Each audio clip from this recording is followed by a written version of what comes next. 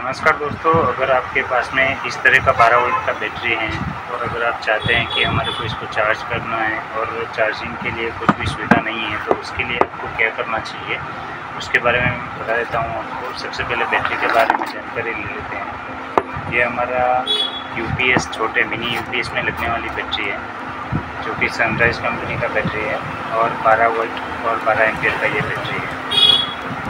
काफ़ी अच्छी ये बैटरी आती है। नॉर्मल रेगुलर यूज़ के लिए बहुत ही अच्छी बैटरी है। अभी हम ट्राई कर लेते हैं। कि इसके लिए कैसा चार्जर होना चाहिए? तो एक ये चार्जर है मेरे पास। जो कि ट्रांसफार्मर वाला चार्जर है। और बहुत ही कम्फर्टेबल चार्जर रहता है कुछ इस तरह से इसका पैकिंग आती है। और यहाँ पर एक स्विच किया होता है जो चालू बंद करने में काम आता है और इसको ओपन करके देख लेते हैं। ये कैसा दिखाई देता है। और हम किस तरह से इसको यूज़ कर सकते हैं, उसके बारे में भी जानकारी दी जाती है। और वीडियो के लास्ट में मैं आपको इसका प्राइस भी बता दूँगा कि ये क्या रेट का है। ये इसमें वायर और वायर जो है वो पीछे की तरफ़ दिया हुआ आता है। ये हमारा मेन स्पोर्ट का वायर हो गया, जिसको हमें बोर्ड में लगा चार्जर को यूज़ करना है। उससे पहले हमारे को ये रेड ब्लैक वायर जो है, उसको बैटरी के साथ में अटैच करना होता है। इन दोनों वायर को हम बैटरी में लगा देंगे। ये हमारा पॉजिटिव और नेगेटिव दोनों यहाँ पर वायर लगा देने के बाद में यहाँ पर हमारा एक इंडिकेटर शो होगा।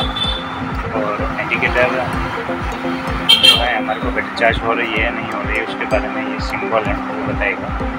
बाकी ये पाँच एम्पियर का चार्जर है। और काफ़ी छोटी साइज़ में इसको बनाया हुआ है ताकि आपस में आसानी से हम यहाँ इसको कैरी कर सकें, एक जगह से दूसरी जगह पर आराम से लेकर जा सकें। अभी जैसे कि ये बैटरी तो हमारी ये है, जो इसके लिए ये चार्जर कम्फर्टेबल है। ये हमारा पाँच एम्पियर का जो चार्जर है, इसका आउटपुट बारह वोल्ट है तो ये बारह वोल्ट बैटरी को आसानी से चार्ज कर लेगा।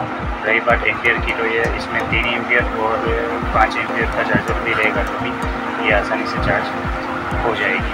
जैसे जितने ज़्यादा कम एम्पियर रहेंगे, उतना थोड़ा ज़्यादा टाइम हमारे को चार्ज करने में ज़्यादा लगेगा।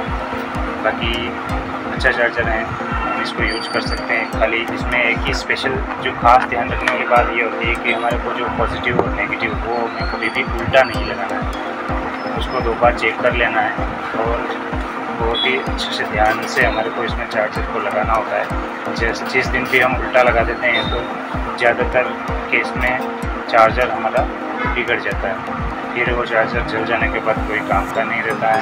जैसे पूरा ट्रांसफार्मर ही ख़राब हो जाता है तो फिर हमें नया ही लेना पड़ता है। अभी मैं प्राइस बता देता हूँ आपको, ये बैटरी हमारा सात सौ रुपये में बाज़ार में अवेलेबल है। और ये वाला जो चार्जर है, वो अपना साढ़े चार सौ रुपये वाला है।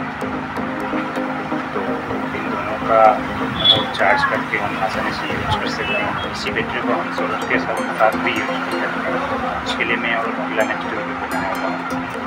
इसमें फ़िलहाल थैंक यू